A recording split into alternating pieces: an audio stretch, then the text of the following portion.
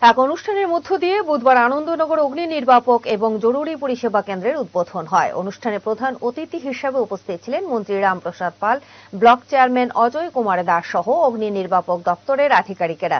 এই fire station উদ্বোধন হওয়ায় এলাকার লোকজন অনেক বেশি উপকৃত হবেন। এদিন তাদের দীর্ঘদিনের দাবি পূরণ হয় বলে জানান মন্ত্রী রামপ্রসাদ পাল।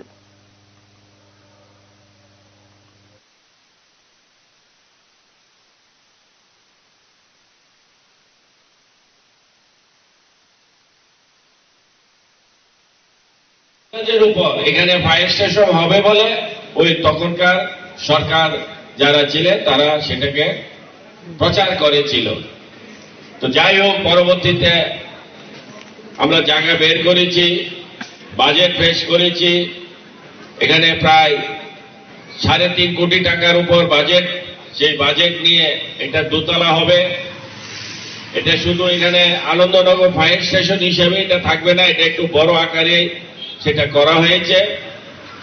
এবং এখানে অতিরিক্ত ফায়ার ফাইটিংরা থাকবে, যেটা কোনো কোনো সময় আমাদের আগরতলায় যদি কোনো বড় ধরনের দুর্ঘটনা ঘটে, তখন এখান থেকেই এই সার্ভিসটা দেওয়া হবে।